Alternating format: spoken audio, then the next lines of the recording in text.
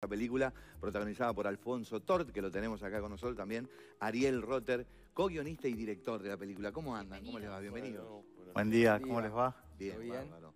Bueno, se hizo el preestreno y también en un montón de festivales con un montón de premios.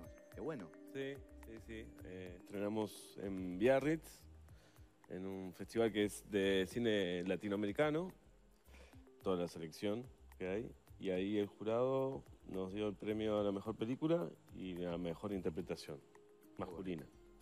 Qué bueno. O sea, a mí. Y, y tira encima de la mesa, en el avance lo veíamos, este, un tema que, que de repente pensamos que no es común, pero es muy común, ¿no? La idea de buscar un hijo y de repente esos que impedimentos nos que hay en el medio. Sí, la película tiene ese, ese universo en el cual está instalada. Eh, una pareja que está hace muchos años buscando convertirse en padre, eso no sucede, padres, y eh, bueno, de a poco empieza a asomar todo lo que esa imposibilidad y esa frustración eh, viene eh, subyaciendo ¿no? en el vínculo de la pareja. Y, y de a poco, bueno, hay un desencadenante, ¿no? Hay como un amorío por otro lado y un embarazo que sucede en otro lado. Eh, y eso es como el punto de partida, si se quiere, en realidad, eh, para que un poco explote la relación.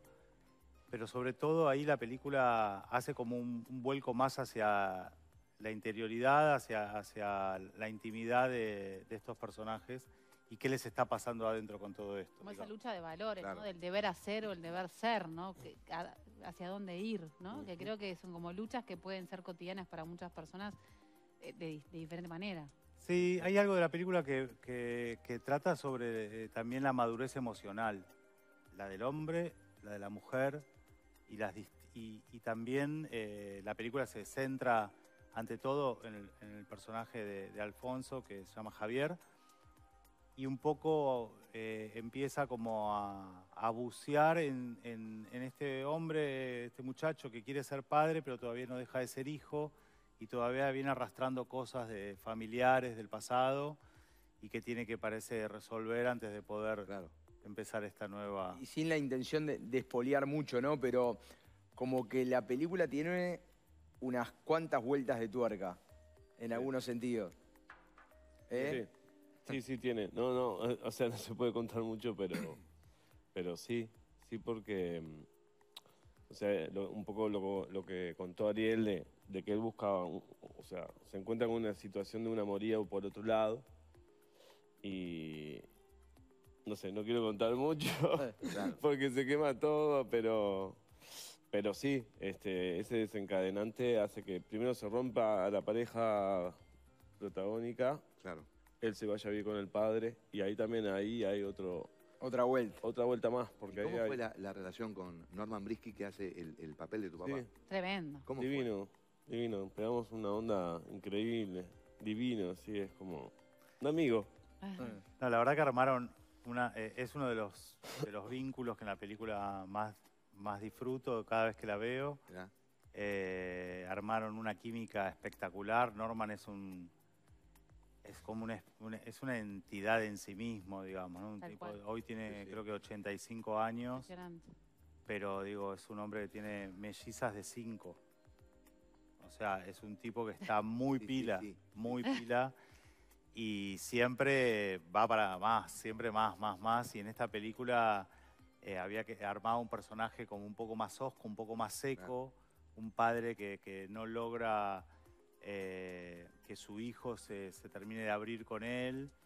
Y, y como que ninguno, eh, Alfonso se refugia en casa de este padre y juntos tienen uno de los momentos así más tiernos de la película que están entre los dos tratando de sacar un tema de Mateo a la guitarra, que es un momento, escena favorita mía de la película. Eh, como una canción que cantaban antes con- cuando estaba la madre, que no está y que también es una figura, es una película de, de- de figuras femeninas muy poderosas y de un protagonista más endeble, ¿no? Entonces, eh, hay algo ahí de, de- del desarrollo que hace el personaje de Alfonso que es muy notable y lleva sobre sus espaldas la- el relato de la película, Bueno, la carga. ¿Qué te Alfonso llevó? mencionaba, perdón, Coco, que ganaste un premio justamente por esta interpretación. ¿Cómo fue para vos encarar este personaje? Bueno, a mí cuando llega el guion que me pasó Ariel, me, me, ¿Te encantó? me encantó y, pensé que era una historia para recontar porque también eso atraviesa como una generación de 40, ¿no? Eh, para mí, de, de- de preguntarse también temas que, que es la fidelidad, qué es, qué es formar una familia. Si querés te contamos qué es la fidelidad. La o sea, es gente un, sabe acuerdo, lo es que un es- acuerdo entre dos La personas. gente sabe lo que es la fidelidad, Alfonso. Yo no. No.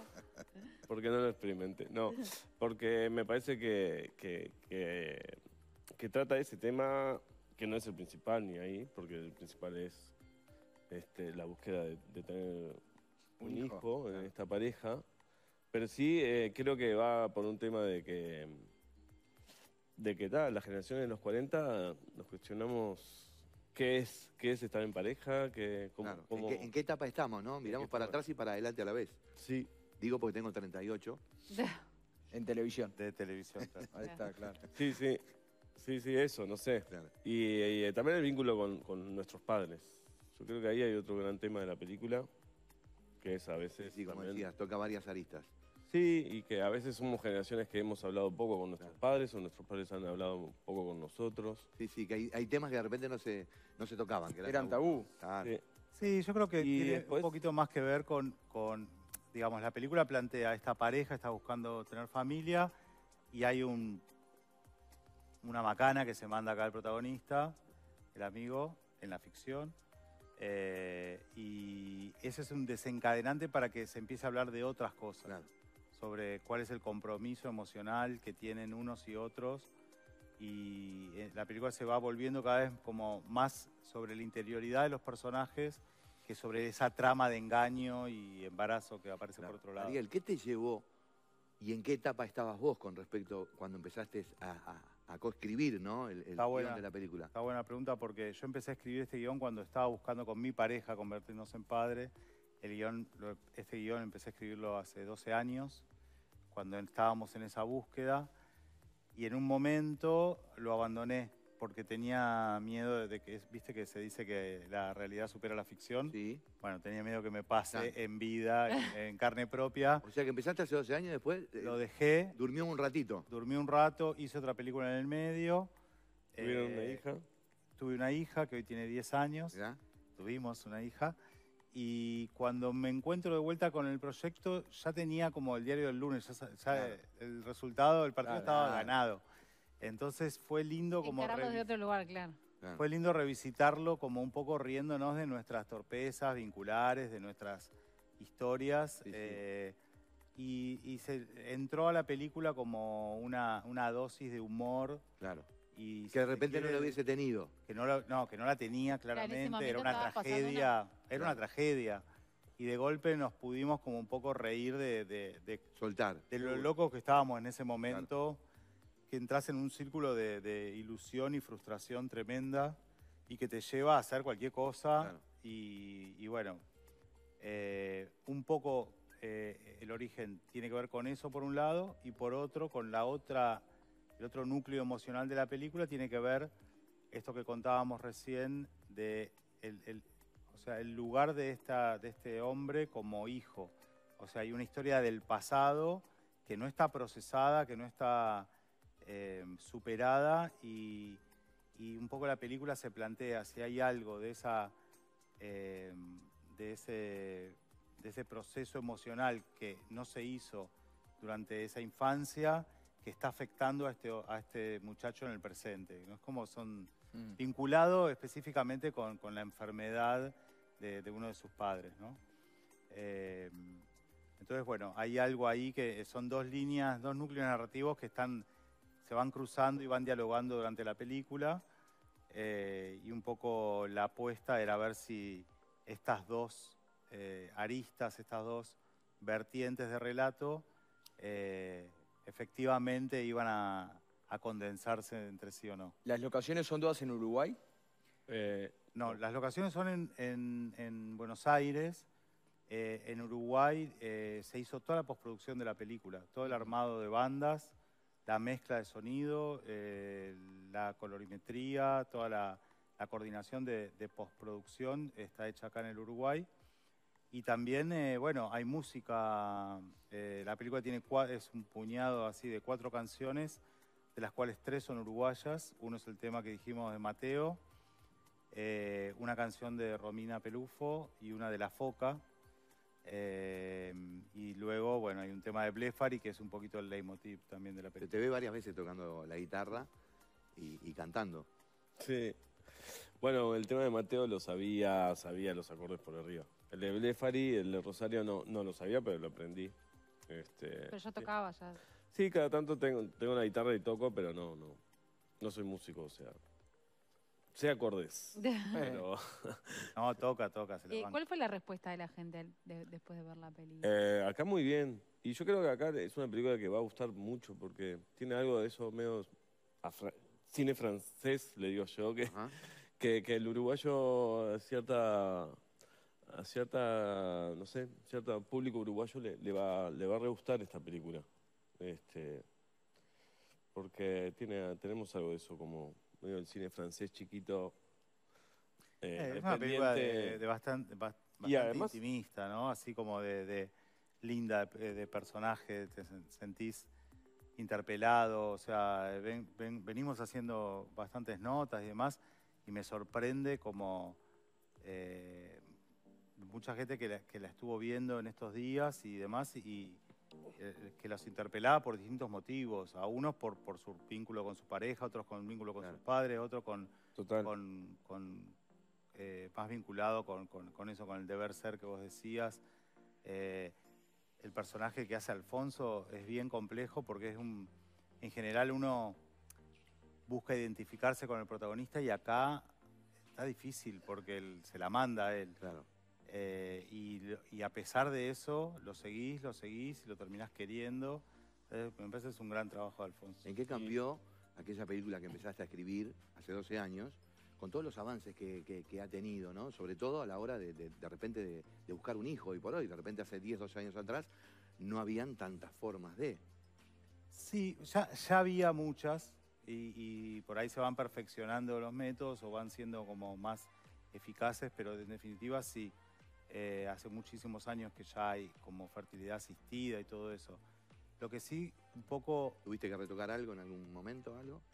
de la historia específica, no, porque tampoco la película es una película médica sobre la fertilidad, es como el contexto en el cual estas personas están inmersas y... y o sea, más es- allá del cómo, lo que pasa en, te- Claro. en esa pareja. Claro, es una película sobre relaciones y Todo lo, vínculos todo lo que y- genera. y La emociones y frustración, la rabia. las Exacto. sensibilidades, ¿no? Sobre eh, cómo, digamos, sobre la medicina de fertilidad. Pero sí es cierto que somos una generación eh, de padres grandes, ¿no? Antes, la- ya mismo la generación de nuestros padres tenían hijos a los 20. a los 20 Y claro nosotros tenemos hijos a los 40, A los cual. 30 y largos. sí, ahí recaen ya algunos después problemas a la hora de tener Y eso inevitablemente eh, con el reloj biológico tiene su, su efecto. Entonces es notable la cantidad de gente y de parejas que han atravesado como por esta situación. Esas parejas obviamente se sienten fuertemente identificadas con, con- con lo que la película está contando, pero aún así, si uno no pasó, eh, puede entender lo que implica, porque en una pareja que se quiere y que están hace muchos años juntos, el- en general, ¿no? Porque puede, puede elegirse otro, eh, otro parecer y demás, pero en general eh, tener un hijo es como la, la realización máxima que, que podemos tener, ¿no? Como personas y demás. Y cuando eso no pasa, eh, realmente se entra en un lugar de, de mucha angustia y de, de Claro. un abismo. Y si de golpe tu pareja con el que estás tratando de tener hijos hace un montón eh, y no podés, pa, tiene un amorío y queda embarazada No, otra no, es persona, terrible. Es sí, película de terror, sí. es exactamente una película de terror. Eh, bueno, todo se dispara así, como se, se- se exaspera un montón, pero en definitiva creo que la película tampoco se regodea como en eso, sino que intenta ver qué, bueno, qué emociones hay detrás de todo eso que está pasando. Bueno, eh, eh, se va a estar proyectando en, en todos lados, ¿no? No solamente Montevideo, sino Canelones, Paysandú, San José, Durazno, Maldonado, Colonia del Sacramento. Eh, La, la Alfonso Tortur. Yo voy a ir al interior a presentarla, me parece que, que está bueno. Creo que hay, hay cierto presupuesto para que puedas ir a algunos lugares, no todos, pero, pero voy a ir porque me, me parece que es re lindo ir a algún departamento, presentar, ir a radios Sí, sí, y sí. después y escuchar también No, los y encontrarse con la gente. Y encontrarse encontrarse con la gente, ir al cine. este, presentarla. Me parece que eso está bueno, une más y no, no se hace tan Montevideo Bueno. solo. Sí, y, y acerca a la gente también con, con los hacedores de las películas. Es una experiencia muy distinta ir a ver una película al cine ya es otra cosa que verlo en una plataforma, en la tele, etcétera. Eh, pero después encontrarte con los realizadores, con los actores y demás, eh, y poder un plus. preguntarle cosas y poder contarle qué te pasó, es una experiencia Totalmente, hermosa. totalmente. Para nosotros muy enriquecedora y en general para el público también. Totalmente. ¿Tenés algún proyecto que está durmiendo por ahora? Está, sí, te, te está despertando. Ah, no lo deje dormir 12 años como el anterior, ¿no?